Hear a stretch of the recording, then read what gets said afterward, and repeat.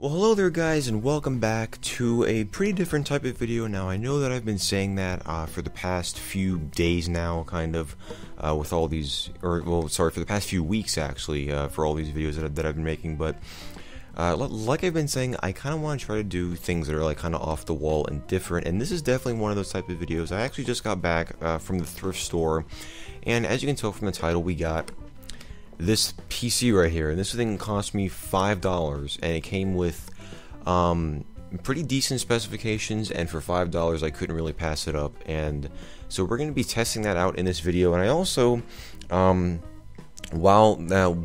Like while, we're kind of talking about that, I also want to mention uh, some other things that I got from that same thrift store and from some other thrift stores that I visited in the past few weeks. So this right here, as you can see, I'm just going to zoom in on, on this little tag here that they had. Uh, this is a Dell Dimension 4300S. It comes with a 40 gig hard drive. It has a, an Intel Pentium 4. It has a 1.60 gigahertz, or just you know 1.6 gigahertz Pentium 4. It has 256 megs of RAM. Uh, it, it, has obviously uh, a DVD-ROM drive. It also has uh, a floppy drive as well, but they didn't say that. And it says that this is a bare bone PC, or they, should say bare bones PC, but whatever. And it says no OS is installed, XP compatible computer, no monitor, keyboard, anything with it. Now the tag over here says it was ten dollars. Um, you can see right there, but the uh, whole like electronic section in the entire store was half off. So I ended up picking this up for five bucks, which is really a good deal um, for pretty much any computer, and especially for uh, computers in my area because where I live, like, and I'm sure this is with um, uh, most uh, Goodwills Goodwills nowadays. Uh, and this wasn't uh, a Goodwill where I got this computer at, but when I go to any Goodwill in my area, all all their computers they sell for around $30 no matter what age they are and they take out the hard drive and the memory which in my opinion is uh, kind of ridiculous as I can understand them taking out the hard drive because it might have you know sensitive data but the RAM I don't know. I think that's just kind of ridiculous but and for $30 like I saw like like an old Windows 95 PC there one time and they were charging like $30 for it with like nothing in it really uh, besides like the motherboard and everything. I mean, it would probably cost thirty dollars to get like get you know RAM for that thing because it's so old. But uh, anyway, that's not the point of this video. What we're going to be doing is actually trying to uh, put Windows XP on this. Now they say that they don't have uh, or it doesn't come with an OS, but I'm just going to see if it. Um, well, like first of all, if there's anything on the hard drive, but if not, I do have uh, this Dell uh, um, uh, what's it called OS CD here, and this actually came with uh, the Dell uh, Dimension 8400 that I have, which I've featured in uh, a few videos, and this comes with Windows XP with Service Pack 1A, which is really super old, and they don't even support Service Pack 3. Um, so this is like you know really primitive compared to that. So we're going to be seeing if we can put this on here uh, and we'll be seeing uh, what that is is like. But first, I just kind of want to open this thing up and just kind of show you um, what is inside of this thing. Uh, so we're going to just kind of bring the PC over here. I know I'm kind of at an awkward angle here with the camera. We're just gonna I, I kind of plugged everything in, thinking I was gonna turn it on, but uh, not really gonna happen here. So we're gonna unplug that, and we're just going to. Dell makes it really easy on this model to get everything out, which is which is kind of nice. So all you have to do is just, if I'm on the right side here, you just have to uh, pull these two tabs on the side and just, of course, now on camera it's going to be a little bit difficult, but we're just going to reach up here, and there you go, you're inside the entire computer. And at at first, when I was uh, like when I was looking at this thing, I was like, "Well, where's the hard drive at?" It's actually in this little green cage right here. Uh, they actually made it so like you like I guess that's for so it's a little bit more protected, which is nice since it's like kind of like on an angle or, or like not on an angle, but since it's being uh, like suspended from you know the roof of the case, since it's going to be laying flat like this, which is uh, kind of needed in in that case. Um, it has over there. I don't know why the white balance is so weird. I don't know why that I always have problems with white balance on this camera, but uh, I am looking into you know getting like a whole new camera soon. But uh, anyway, so yeah, the that's the hard drive over there. Um, over here is this uh, DVD drive, CD drive because it's like you know all in one, and uh, the floppy drive right below that, which Uh, not sure if that works. Usually floppy drives this old uh, have problems, but well, we are going to test that out. Uh, right here we have, I think right there actually is where the Pentium 4 is, because that looks like kind of a CPU cooler kind of thing. Or no, actually, let me see. No, no, no. Actually, that's sorry. That's completely right. I think I think it's right here. That looks kind of like where the CPU would be, because I can see like under there that there's like a heat sink. So, yeah, that's that's probably where the, CPU is, and then I think that is just like case cooling right there.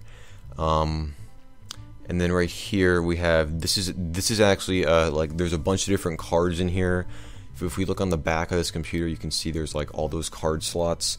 Um, I'm not sure if those were user installed or if they were like you know they're from the factory but we do have uh, it looks like an ethernet card um, uh, a modem card with two ports.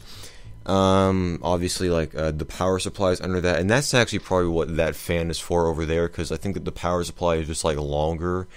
Um, so yeah, that's what that is, and then we obviously have uh, all your motherboard ports right there, um, and all, you know all your wonderful cables and everything. So yeah, that, that, that's just a quick little tour of the inside of this machine. I'm just gonna close it down, and again, really nice design on this computer, and I, I'm not just saying that because I bought it, obviously, but I just I, I just think this is a really cool uh, little design, and you know Dell is kind of known for making weird case designs. Um, but this is, I, I just like how it just opens up that, that, that easy and you can change everything out. Um, yeah, I just think that's really nice. Um, now this is a Pentium 4, so I was thinking about trying to see if Windows 10 would work on it because I've seen, I've gotten so many comments uh, on my video where, where I tried to do that of like people saying, well, it like works on like like like my Pentium 4, and I don't know why it like doesn't work on yours, and I think it's just because the the Dell Dimension 8400 uh, is older or it has like an older BIOS because people were saying you could change a setting in the BIOS and it would work. So um, maybe this uh, computer will have that setting. I'm gonna have to look into that. Um, first of all, we have to see if it even works. So we're gonna do that right now. I have this uh, this uh, Dell monitor over here, uh, kind of you know appropriately, I guess you'd say. I'm just gonna plug in everything here. I'm gonna plug the monitor cable in. So that's gonna go away, that flashing, whatever. I'm gonna plug the power supply in. If I can see which way it goes in like that. I'm gonna plug in the keyboard and mouse. Um, so there we go. And I'm just going to turn this thing around. I'm trying to get a good uh, angle on the monitor here because I know I, I still don't have a capture card.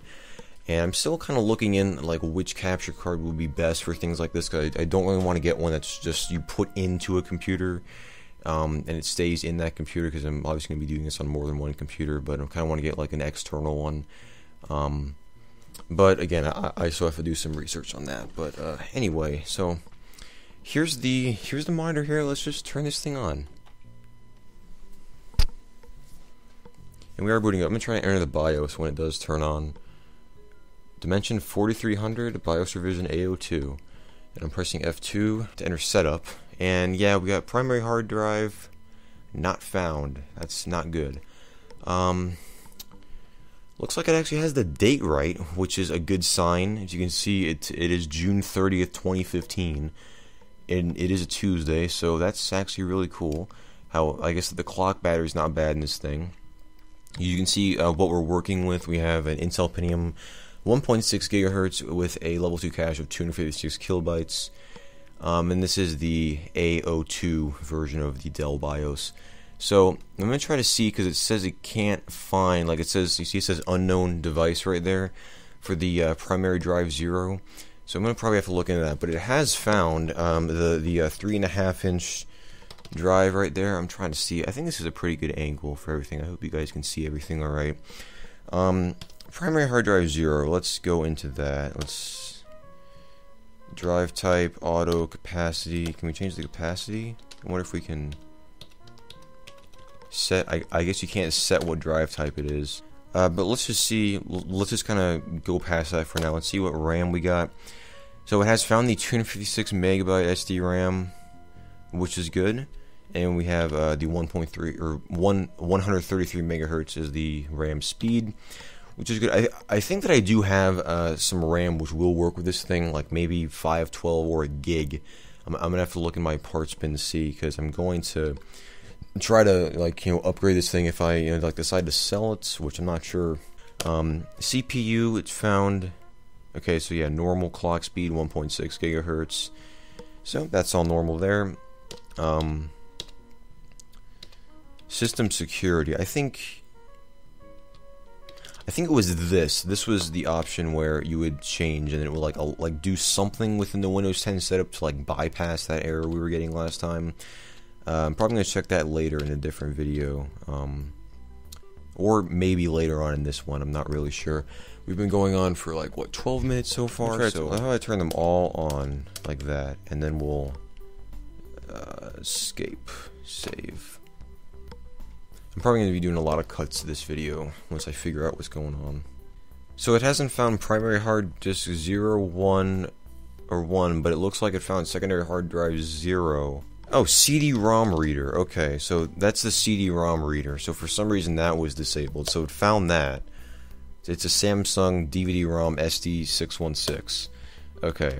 The hard drive, however, it's not finding. What I'm actually going to do is just uh, pause the video. I'm going to see if it's plugged into the motherboard, which I probably should have checked before, I'll, I'm going to come back and see what's All right, well, we had a uh, a bit of an issue.